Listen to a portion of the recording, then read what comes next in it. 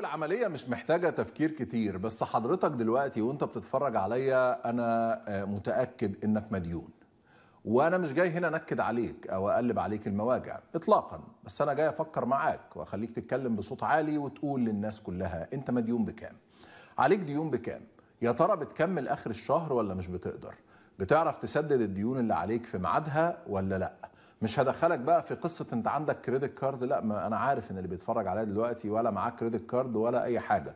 هو بيروح يستلف ال 5000 ولا ال 2000 ولا ال 10000 ولا ايا كان واللي بيدخل جمعية واللي بيعمل مش عارف كذا والحاجات دي كلها أنا عارفها كويس. في ظل وجود رئيس للدولة بيروح يشتري طيارة ب 10 مليار وبياخد منك تريليون جنيه ضرائب في ظل إن العملة بتنزل كل يوم عن التاني في ظل إن عدد كبير جدا من الأسر المصرية بتستلف عشان تكمل ال- الشهر بتاعها. أحد موظفي المخابرات العامة طلع قبل كده وقال لك الناس لما مرتبها بيخلص بتبدأ تبيع. تقلع الساعة بيعمل مش عارف كذا بيبيع إيه بيعمل كذا. ده الحال في الشارع المصري وده الحال في البيوت المصرية. فاكر الكراسة الصفراء أو النوتة والمحلات اللي أنت بتحاسبها شكك والكلام ده كله؟ كنا بنسمع عنه زمان أيام مبارك لكن دلوقتي أصبحت هي السياسة العامة لكل الناس. لا يكاد بيت في مصر يخلو من الديون. الديون سواء عشان تدخل ولادك مدارس الديون عشان تجوزي بنتك الديون عشان تجهزي بنتك غير الجواز كمان غير الفرح لا ده في الجهاز وفي مش عارف كذا. الديون عشان تدخل ابنك جامعة الديون عشان ابنك عايز يسافر بره الديون عشان كل حاجة. البلد دلوقتي كلها أصلا مديونة. كان في أحد الموظفي المخابرات العامة برضه جبناه لكم قبل كده هو بيقول لك لو كل واحد يدفع 800 دولار هتسدد الدين اللي عليك لمصر وبعدين ابنك هيقول لك إحنا رايحين فين يا بابا؟ هتقول له رايحين نسدد ديون مصر هيقول لك ما هم ضيعوها فأبوه هيقول له آه ما هم ضيعوها بس إحنا رايحين ندفعها تاني. فهم ضيعوها فعلا. ده كان السلوجان اللي عملناه في الحلقة أيامها. لكن الدولة المصرية الحقيقة تاريخها مع الديون الدين العام تحديدا هو تاريخ طويل جدا. موقع زي المنصة عمل تقرير النهارده بيتكلم فيه عن تاريخ الدين العام مع الحكومات المصرية المتعاقبة. خلينا نشوف تفاصيل أكتر في الفيديو اللي جاي.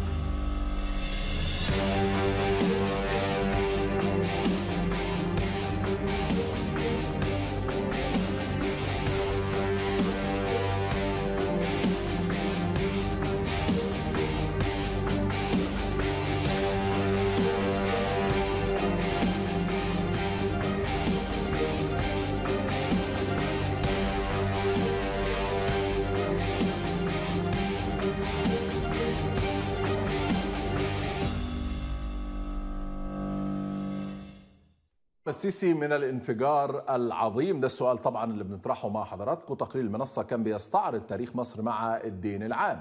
لما فكرنا في سؤال انت مديون بكام رحنا لمواقع التواصل الاجتماعي عشان نشوف الناس بتقول إيه عن الديون. خلينا نقرأ بعض التغريدات اللي كتبها مواطنين مصريين عن الديون. حمودة أو حموتة بيقول مطلوب منك في مصر تجري تجري بأقصى سرعة عندك وبكل مجهودك عشان يا دوبك بس تفضل محافظ على مكانك عشان بس توصل آخر الشهر مش مديون عشان يا دوبك تاكل وتشرب. اللهم اجعل عيشتنا في البلد دي شفيعة. لينا. والله أصبحت دعوة جميلة. مش فعلا أنت يا رب شفع فينا المرض وشفع فينا الصبر على المرض وشفع فينا الابتلاء. واضح إن العيشة في مصر أصبحت من الحاجات اللي هنسأل ربنا إنه يشفعها فينا. الناس اللي في مصر بتقول الكلام ده والتغريدة دي بتقول كده. تغريدة أخرى عن نفس الموضوع برضه بيكتبها خالد العسال أو العسال صحيح؟ بيقول مش مهم مين مديون بكام دي أرقام ليها مليون رد. هيقول لك ما هي أمريكا أكبر دولة مديونة في العالم. المهم دخل الفرد كام؟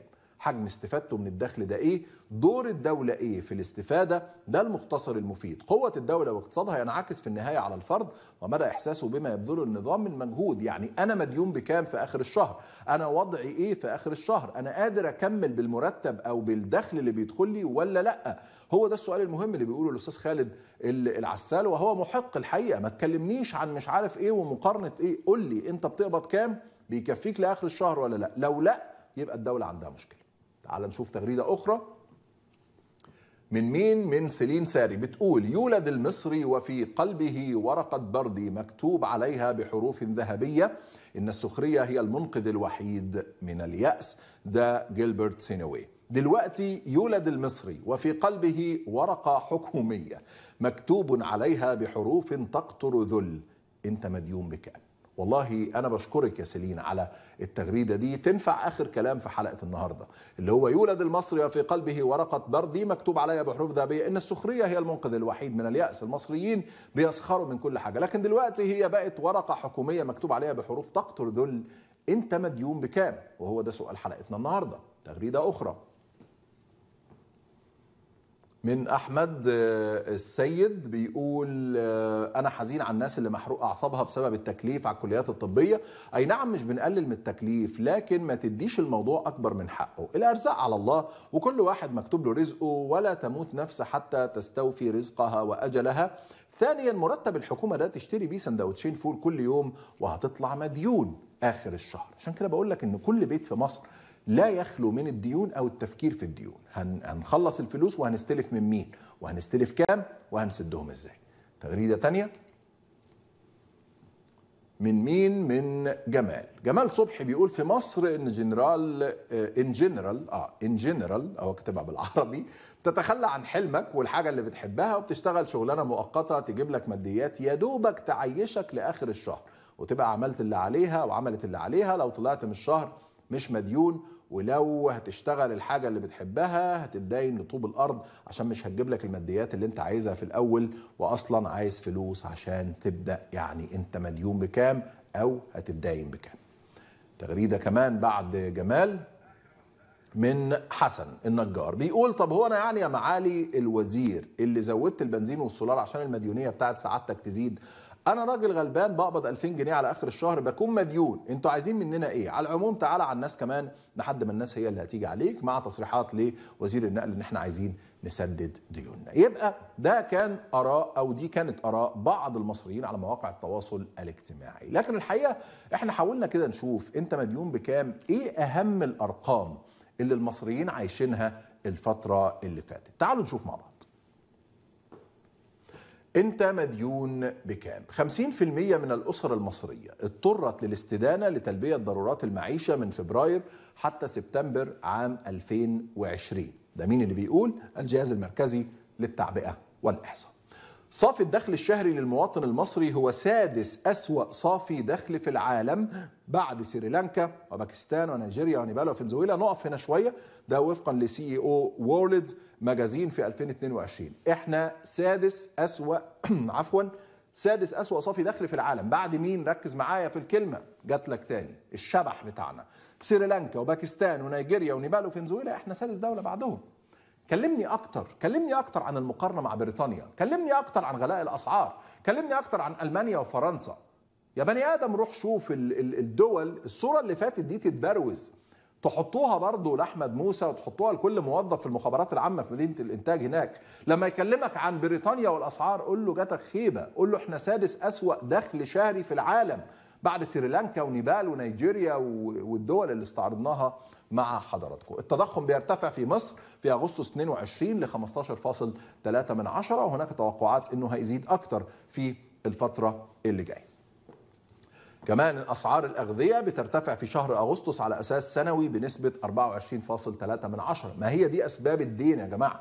هي الناس بتدين ليه؟ لأن أسعار السلع بتزيد. على سبيل المثال ارتفعت أسعار الحبوب والخبز 50% تقريبا الزيوت والدهون 32% الألبان والجبن والبيض 26 أو الجبنة والبيض 26 و9 من 10% اللحوم والدواجن الدواجن 23% النقل والمواصلات 16.5% ده وفقا للجهاز المركزي للتعبئة والإحصاء. ما يدخلش واحد دلوقتي سخن وعايز يدافع أو يبرر فيقول لي أنت بتجيب الأرقام دي. أهو يا بيه اقرأ اقرأ المصدر عشان ما تتعبنيش لما أروح أقعد هناك وأنا قاعد أقرأ الرسائل بتاعتك. أرجوك أنا شايفك يا اللي بتكتب دلوقتي وسخنت أيوه فلتنظر إلى بريطانيا. أنت جايب الأرقام منين؟ أنا مش جايبها من بيتنا وأنا جاي أنا جايبها من الجهاز المركزي للتعبئة والإحصاء. فأرجوك عشان ما تتعبنيش وتضيع وقتي بعد شوية.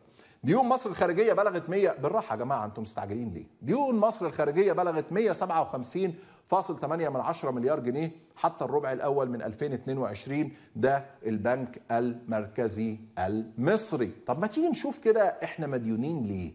أحد أهم أسباب الدين في مصر هي الضرائب الحكومة بتحصل على ضرائب من المواطنين تريليون و168 مليار جنيه بنسبة حوالي 77% من إيرادات الدولة حسب موازنة العام الحالي 2022-2023 دي وزارة المالية. محمد معيد بيه. مش طلع قال لنا الكلام ده.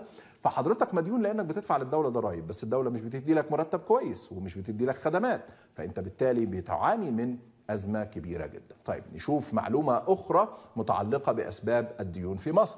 ستنفق مصر 90 مليار دولار ما يمثل 54% من إجمالي الإنفاق العام على أقساط الديون وفوائدها في 2022 2023 ده برضو الرئيس بتاعنا محمد محيط. يبقى القصة باختصار شديد انت مديون ليه؟ لأن الدولة مديونة والنظام مديون والسيسي مديون وكل حاجة بتحصل حوالينا بتقول إنك لازم تكون مديون، أسعار بتزيد، ضرائب بتزيد، مفيش خدمات، مش قادر تكمل لآخر الشهر، متوسط الدخل بتاعك سادس أسوأ متوسط دخل على مستوى العالم، مش بنتكلم في أفريقيا، مش بنتكلم في العالم العربي، لا ده أنت جاي بعد سريلانكا وبعد نيجيريا وبعد وبعد وبعد انت وبعد نيبال باين انت سادس أسوأ دخل في العالم. وبالتالي طبيعي جدا ان حضرتك اللي بتتفرج عليا دلوقتي تكون مديون. مين المسؤول عن انك مديون؟ ده سؤال مهم. هل أنا المسؤول؟ حد يقول لي أسامة هو انت كل موضوع هتطلع تقول لنا كده؟ هقول لك آه. عارف ليه؟ لأن إحنا بنتعامل مع أسوأ عينة وفئة من المدلسين اللي مرت على التاريخ المصري القديم والحديث. يا راجل سحرة فرعون قبل ما يسلموا وهامان ما كانوش بهذا يعني التدليس الفج اللي إحنا بنعيشه مع عبد الفتاح السيسي ورجالاته وإعلامه وموظفيه. قصة إن إحنا عندنا ديون وإحنا مش عندناش موارد وإحنا عندنا كذا. فبقول لك تاني مين المسؤول عن إنك مديون؟ النظام المصري رأس النظام المصري الحكومة المصرية موظفي المخابرات العامة اللي اسمهم إعلاميين البنك المركزي الاقتصاديين المصريين.